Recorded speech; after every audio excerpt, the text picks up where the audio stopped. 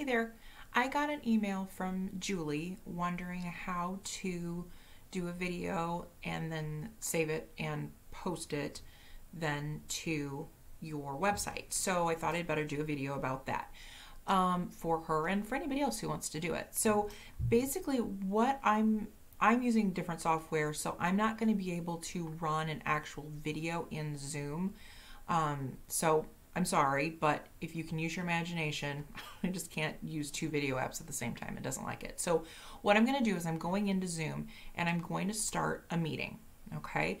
So this is just a meeting with yourself. It's, you know, how, how you're going to start out doing all of that. So basically, um, I'm just going to join with computer audio for right now. Um, I'm not going to click to add any participants or anything like that. Now notice my video is not on again because I can't do it since I'm recording this for you.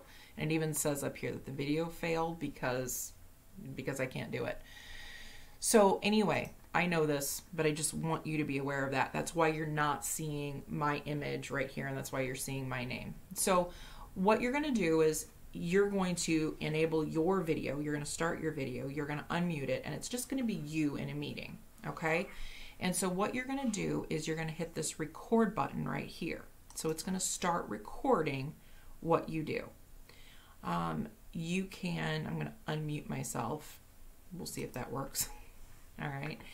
And so basically, you're going to give your lesson. You're going to record whatever you want to record for your kids or for, um, you know, your your team or whatever. And once you're done with it, you're going to hit the pause or stop you can pause something, you know, if your dog's acting like a fool like mine is right now in the background, you can pause it. Anyway, so you can also share your screen. So if there's something that you not only want to give to them video with just talking to them or whatever, you can share what you've got on your screen. You can share a whiteboard and you can write on it and do whatever. You can share any of these in particular screens that you've already got up. Okay. Um, so let's go ahead and I'm going to share my screen. Um, so you can pause sharing, you can stop sharing. Okay, so this is where you're going to find all those options. So once you've done all that, you've done your recording. Okay, you've in Julie's case, you sang a great song. I'm not going to do that. Um, you're going to stop your recording. Okay then what it's going to do is it's going to tell you up here the recorded file will be converted to an MP4 or whatever your computer chooses. I'm thinking they're all MP4s. You can probably background change all that, but we won't go into that right now. Anyway, when the meeting ends. So once you're done, for sure, you've done your lesson, you're going to hit end meeting. Okay? And then you're going to end meeting for all and then what it's going to do is it's going to convert everything like it's doing right now. And it's going to take a while. And a longer while.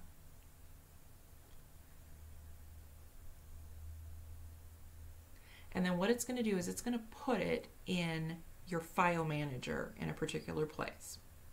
Okay? So if you look at, see it automatically brought up the file manager.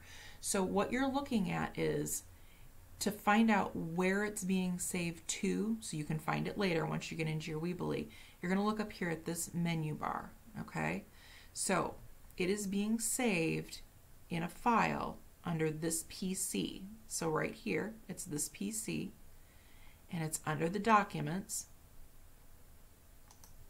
and then it's under the Zoom file, okay? So you can post audio only of what you just recorded. Um, here's the actual file itself. Okay. So you're going to minimize that down. So, you, so just basically you know where it is. So you're going to minimize that. You're going to get out of your Zoom. And then you're going to bring up your Weebly account. Okay, so this is your normal page builder. So you all remember how to get there. So you start out, you log in from Weebly.com. You pick um, whatever website it is that you're going to work on. So I've just got my paranormal one up just to show you guys, just as, you know, so I don't mess up anybody else's accounts. Um, I'm going to edit the site. and I'm going to pick the page that I want this to go on. Okay, so that's one of my main pages. So I've just made this file page um, so I can just show you guys how to upload things. So what you're going to want to do is you're going to want to go back to your build. Okay, so you've got a couple different options here. If your video is nice and short and concise, unlike this video right now, you're going to be able to just upload it as a file. So you all know how to do that. So you're going to grab your file here, you're going to drag it, put it there, it's going to populate, there it is, you're going to click on it, you're going to upload file, and then you have to go find it in your computer. So hopefully it's kind of sort of remembered where it put all the Zoom stuff. Um, you can tell by the timestamp where things are. Um, so my most recent one is one of them. It doesn't even matter. So I'm going to open up that file. It's going to upload. Now it was a really short recording. So that's one way to do it. And then it's there. And then you can make sure and publish it when you're done. Now, here's my only issue. Sometimes these files, especially if they're video, they're going to be too big to just upload as a file. So you are going to have to put them on a YouTube channel first and then embed it from YouTube. So I brought up, here's my YouTube channel. They're free to sign up for. You can use your Google account. You can use your school account, whatever, it doesn't matter. So what I'm going to do is I'm going to go to my channel.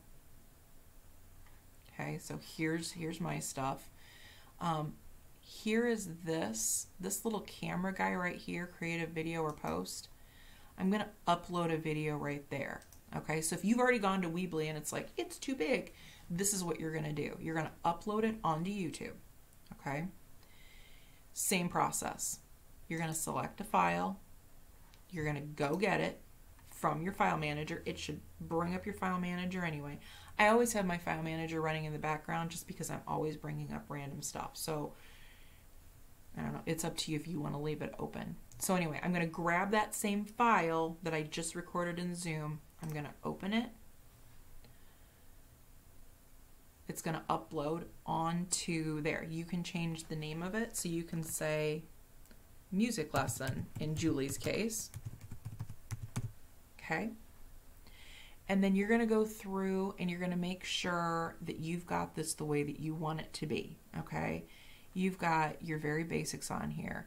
You can upload a thumbnail onto it. It doesn't have to be fancy, you guys. It can be super simple. Um, make sure that you click for the audience. This is key, okay, in YouTube.